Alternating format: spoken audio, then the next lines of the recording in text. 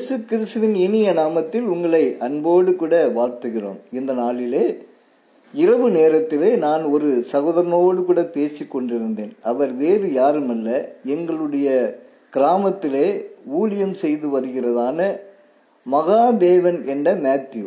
அவர் குமாரதாஸ் ஐயர் அநேக உபதேசம் கொடுத்த காலத்திலே அவர் வாலிபனாக இருக்கும் பொழுது அவர் இயேசுவை ஏற்றுக்கொண்டு அந்த விசுவாசத்திலே வேரூன்றி அருமையாக அவர் இந்த நாட்களிலே என்னுடைய கிராமத்திலே ஊழியம் செய்து வருகிறார். இரவு நேரத்திலே அவரும் நானும் பேசி கொண்டிருக்கும் பொழுது அவர் சொன்னதான செய்தியை உங்களோடு கூட நான் பகிர்ந்து கொள்கிறேன். அவர் இவ்விதமாக சொன்னார் வேத வசனத்தை ஆராய்ந்து பாருங்கள் அதனால் உங்களுக்கு நித்திய ஜீவன் உண்டாயிருக்குமே என்ற வசனத்தின் அடிப்படையிலே அவர் செடி அடி மடி என்று சொன்னார். செடி அடி மடி இதற்கு அர்த்தம் என்ன என்று கேட்கும் பொழுது அவர் விவரமாக சொன்னார். செடி என்று சொல்லும் பொழுது சூறை செடியின் கீழ் தூங்கிய தீர்க்கதரிசியாகிய எளியா என்று சொன்னார். இன்னுமாக அடி என்று சொல்லும் பொழுது கப்பலின் அடித்தட்டிலே தூங்கிய யோனா என்று சொன்னார். மடி என்று சொல்லும் பொழுது அந்த அருமையான ஸ்திரீயானவள் சிம்சோனை தூங்க வைத்ததான காட்சியை அவர் எனக்கு ஞாபகப்படுத்தினார். அப்படியானால் இந்த மூன்று காரியத்தையும் வைத்து நான் வேதத்தை வாசிக்கும் பொழுது அங்கு ஒரு அருமையான சத்தியம் நமக்கு வெளிப்படுகிறதை நாம் பார்க்க முடிகிறது. அவருடைய பிரசங்கத்தினுடைய அவுட்லைன் இதை வைத்து இந்த செய்தி தயாரிக்கப்படுகிறது. அருமையானவர்களே அந்த சாதாரணமான தேவனுடைய பிள்ளைகள் என்று சொன்னாலும் கூட அவர்கள் மூலமாக தேவன் எவ்விதமாக பேசுகிறார் என்பதை நாம் அறிந்து கொள்ள வேண்டும்.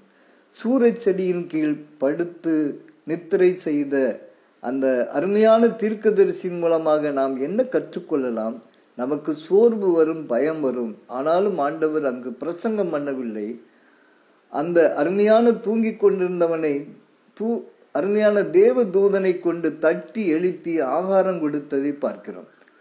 அவனுக்கேற்ற ஆகாரம் சோர்வு நீங்க பயம் நீங்க ஆண்டவர் கொடுத்த ஒரு போஜனம் என்று சொல்லி பார்க்கிறோம். இன்று தேவ ஊழியம் செய்கிற உங்களுக்கும் எனக்கும் ஆண்டவர் ஆவிக்குரிய மன்னாவே நமக்கு வைத்திருக்கிறார்.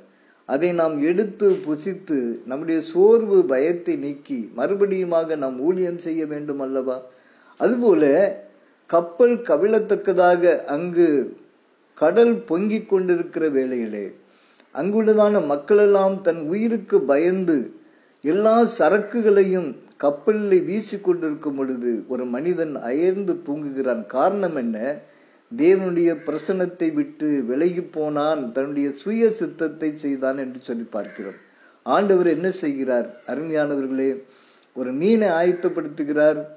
கரையிலே போய் கக்குகிறது. மறுபடியுமாக அவன் ஊழியம் செய்து அங்கு யோனா தீர்க்கதரிசியின் மூலமாக பிரசங்கத்தை கேட்டதான மக்கள் மனம் திரும்புகிறதை பார்க்கிறோம். அப்படியானால் இந்த நாட்களிலே உலகம் எவ்வளவு பயங்கரமாக ஓடிக்கொண்டிருக்கிறது. கடைசி நாட்கள் எங்கு பார்த்தாலும் விபச்சாரம் வேசித்தனம் கொலைகள் இன்னுமாக தற்கொலைகள் இன்னும் அநியாயங்கள் சம்பாத்தியத்திற்கு மேல் சம்பாத்தியம் பொருளை ஆண்டவரை பதுக்கி வைக்கிறதான காரியம் இதெல்லாம் பார்க்கும் பொழுது உலகம் கலங்கி கொண்டிருக்கிறது அல்லவா? இதற்கு இடையிலே கொள்ளை நோய்கள் மக்களுடைய தீதி இதமாக இருக்கும் பொழுது அந்த நாட்களில் எப்படி யோனா நிர்விசாரமாய் தூங்கினார் அதுபோல நீங்களும் நானும் ஜெபம் பண்ணாதபடி ஆண்டவருடைய உள்ளத்தை அறியாதபடி நாம் நிர்விசாரமாக தூங்கிக் கொண்டிருந்தால் யோனாவுக்கும் நமக்கும் என்ன வித்தியாசம்? ஆகவே இதன் மூலமாக நாம் மறுபடியுமாக ஜெதித்து ஆண்டவருடைய ஊழியத்தை செய்ய அழைக்கப்படுகிறோம். இங்கு மூன்றாவதாக ஒரு புருஷனை குறித்து பார்க்கும் பொழுது அவனுடைய பெயர் சிம்சோன். அவன் எங்கு தூங்கினான்? தெளிலானுடைய மடியிலே தூங்கினான். எவ்வளவு பயங்கரமான ஒரு இடம் பாருங்கள். ஒரு ஸ்திரீனுடைய மடி என்று சொல்லும் பொழுது அவன் எவ்வளவு பயங்கரமான பாவ இச்சை மாம்ச இச்சை என்று நீங்களும் நானும் இதற்கு நாம் விலகி ஓட வேண்டும் அல்லவா பாலிய இச்சைகளுக்கு விலகி ஓடுங்கள் என்று சொல்லி நாம் வேதத்திலே வாசிக்கிறோம். அப்படியானால் பாவமான காரியங்கள் கண்ணின் இச்சை மாம்சத்தின் இச்சை பெருமை இன்னுமாக பலவிதமான பாவங்களுக்கு நாம் அடிமையாகாதபடி உல்லாசமான வாழ்க்கை நிமிடந்தோறும் நம்முடைய சிந்தையிலே பாவம் இதெல்லாம் விட்டு நாம் விலக வேண்டும் அல்லவா நாம் எங்கு படுத்திருக்கிறோம்? பாவத்தில் மடியிலே படுத்திருக்கிறோமா?